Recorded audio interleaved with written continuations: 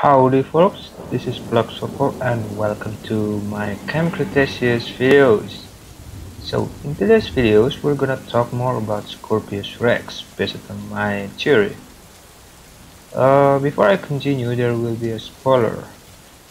So if you haven't watched Camp Cretaceous season 3, I would recommend to watch this. Scorpius rex. What we know about it? Is it a hybrid? Yes is it scary? Yes. But there are more we need to know about it. There are several questions we need to answer about Scorpius rex, which I will talk about it after this. So watch this carefully. What is Scorpius rex made out of?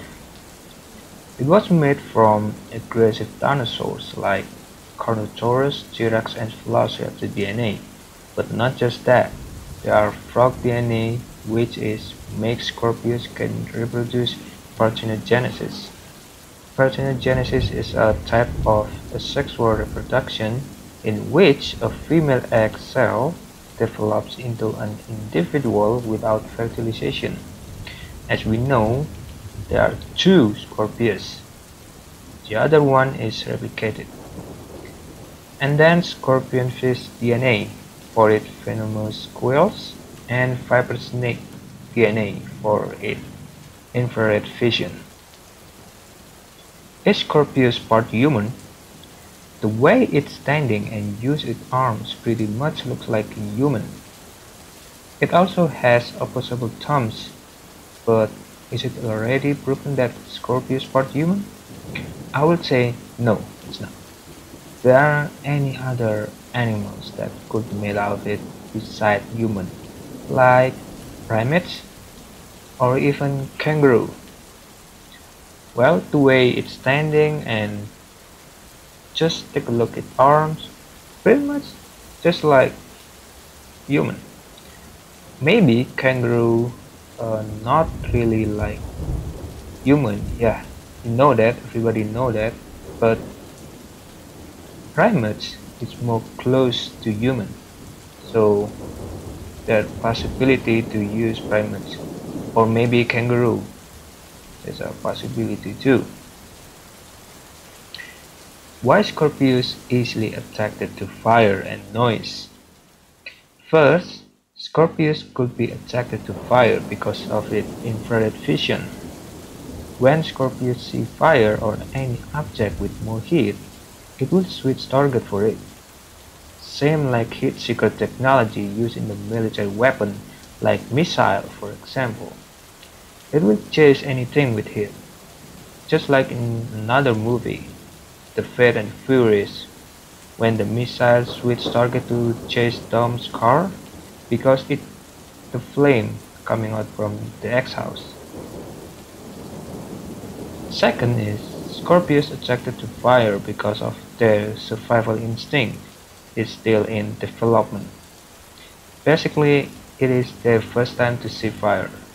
Same like human, mostly children when they saw fire for the first time. In their mind, could be, ooh, what is that? Why is so bright?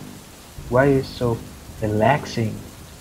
Well, some research and theory says Fire can be hypnotic because the way it moves, it, it's so calming and relaxing. Maybe Scorpius could feel the same way.